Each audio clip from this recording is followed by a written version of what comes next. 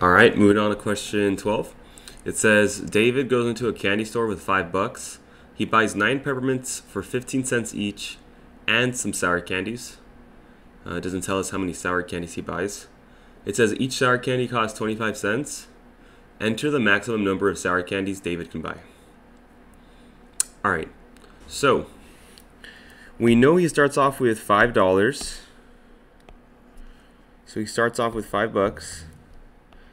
And we also know that he buys nine peppermint candies for 15 cents each. So he buys nine peppermint candies for 15 cents. So that means he spends a total of, let's see, 9 times 5 is 45. 1 times 9 is 9, plus 4 is 13. So it's 135, but my question has the decimal moved 2 times to the left. So my, my decimal here has to be moved 2 times to the left. All right. So he starts off with 5 bucks. He spends a dollar 25 on these peppermint candies. And so he's left with let's see. If we go ahead and subtract, we're left with $3.65. So we know that David has $3.65 to spend on sour candy. So how many can he buy? Well, I can make a little table here on the right. I can say these are the amount of candies that David buys. So these are the amount of sour candies. And then the cost associated with it. So for example, we know that uh, one sour candy is going to cost 25 cents.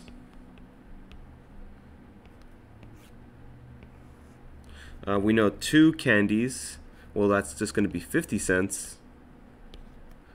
Three candies is going to be 75 cents.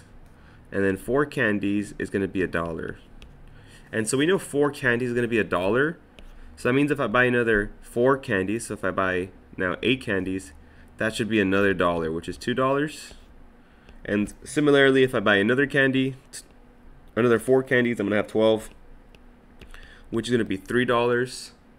Remember that David has three dollars and sixty-five cents left to buy sour candies, so he can still buy more than 12, because 12 is only three dollars, so he can keep going.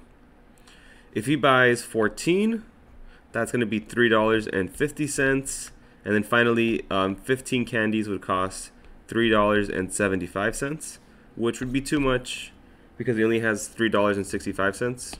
So in this case, the most amount of candies he can buy is 3, uh, 14. And so right here, the answer is 14.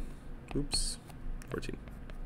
And if I check my answer key, uh, yep, the answer is 14, so it matches up. All right, hope that makes sense.